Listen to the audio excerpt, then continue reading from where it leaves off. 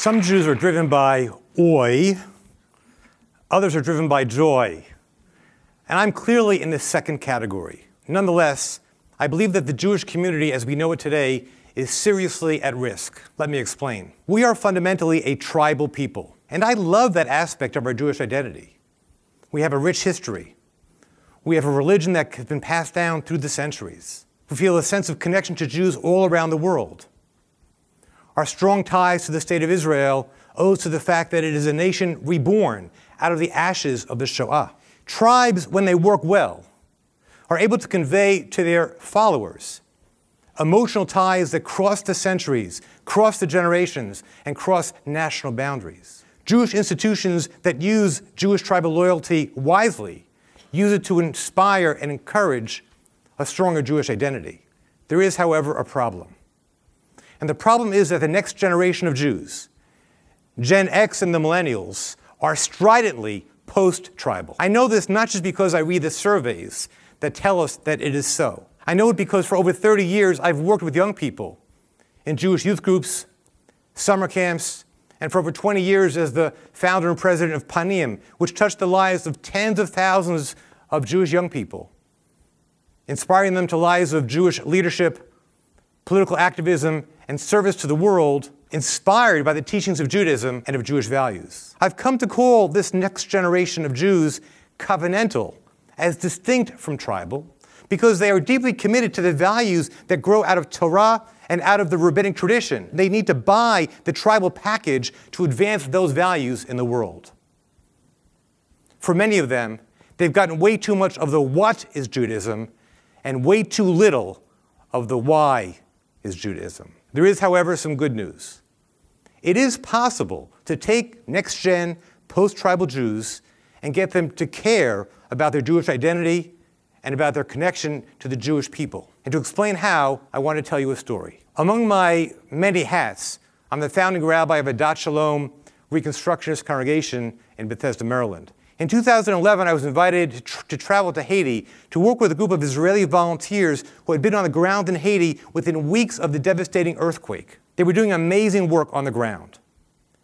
In addition to teaching and working with the Israelis, I also did some work with local Haitians. My translator was a charismatic young minister named Johnny Felix. Pastor Johnny had founded a congregation, a church, in Léogâne, right near the center of the earthquake, and also a kindergarten through sixth grade school.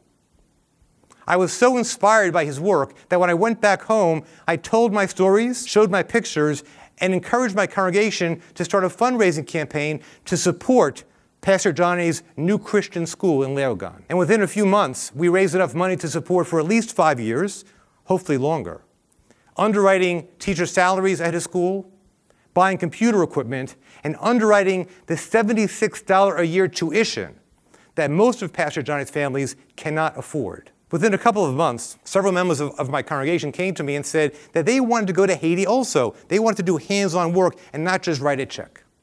They asked me if I would lead the trip. I agreed. And so it was that last December, I and 18 members of Adat Shalom traveled to Léogâne. The group was made up of 18 people, equally divided between adults and their children between ages 15 and 30. During the day, we built houses side by side with Haitians, as you can see in the picture. These are Haitians who were living in wood huts with no indoor plumbing. At night, I led study sessions connecting the work we were doing during the day with the Jewish teachings about tzedek umishpat, about how we must do justice in the world regardless of nationality, regardless of religion, regardless of race. Now, I've been teaching for a long time, and I could tell that the adults were far more into the study sessions than were the teens. Now, mind you, they were polite, but it was their rabbi filling some dead time in the evening. The important work was happening during the day. Typical of post tribal Jews, their attitude was, what's Judaism got to do with it? And then on Sunday, we went to church, to Pastor Johnny's church.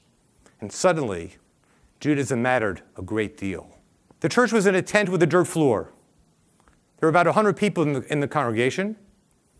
They were sitting on cast off benches, dressed beautifully, and given their poverty, we were amazed at how beautifully they were dressed. When we entered the church, they had already been there for two hours when we got there for the last 90 minutes of the service. We were greeted by a Hebrew song, a Hebrew song that I had taught a year earlier when I visited that congregation. The song was Shabbat Shalom. It had become a regular part of their Sunday morning liturgy. Pastor Johnny had invited me to offer the morning sermon. Because we were there during the week of Hanukkah, I used the lessons of Hanukkah to bring hope and encouragement to Haitians who had not only been devastated by a natural disaster, but whose families had suffered for decades under corrupt dictators who more or less ruined their country. When our makeshift Adat Shalom choir got up to teach a few Hebrew songs, the congregation joined with passion to the words, Hinei matovu manayim, shevet achim gam yachad.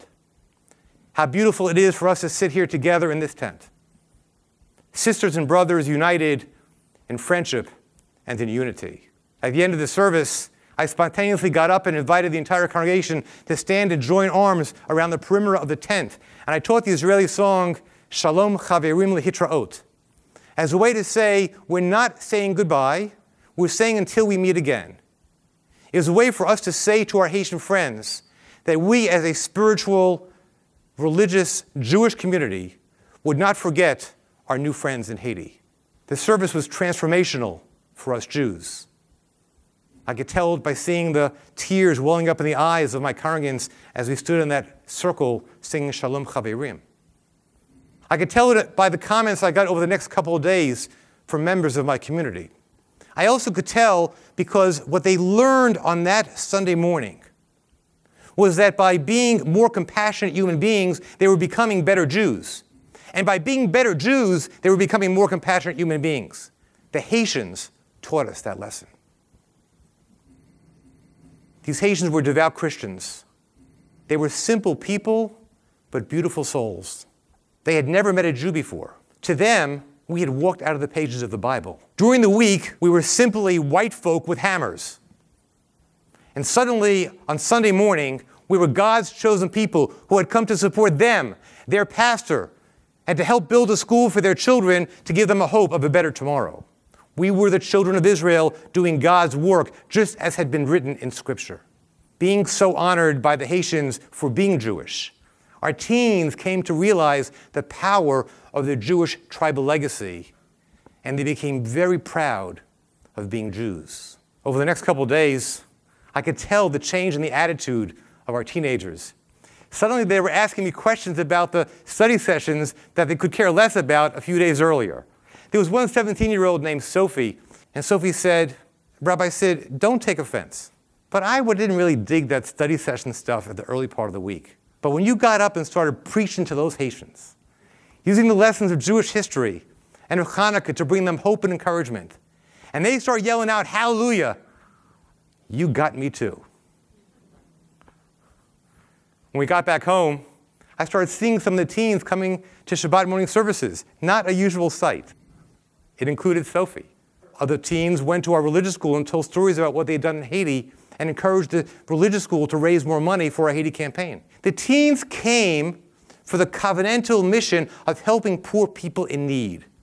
Our teens are nothing if they're not altruistic. But in the course of the week, they came to connect their work in Haiti with the Jewish tribal legacy that dates back to the first encounter between God and Abraham in chapter 18 of Genesis when God says to Abraham that your mission in the world as the first Jew is lasot tzedakah umishpat, to extend the boundaries of righteousness and justice in the world. And our young people began to own and be proud of that Jewish tribal legacy. What then is the formula for taking next gen post tribal Jews and making them care about Jewish engagement and Jewish identity? It is not nostalgia nor will it be Jewish parents laying an extra heavy layer of guilt on their kids.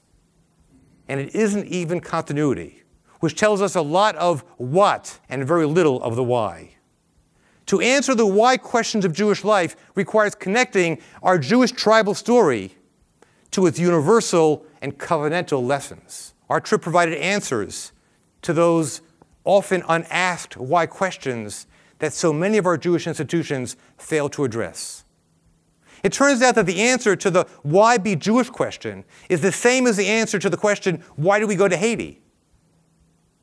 Why?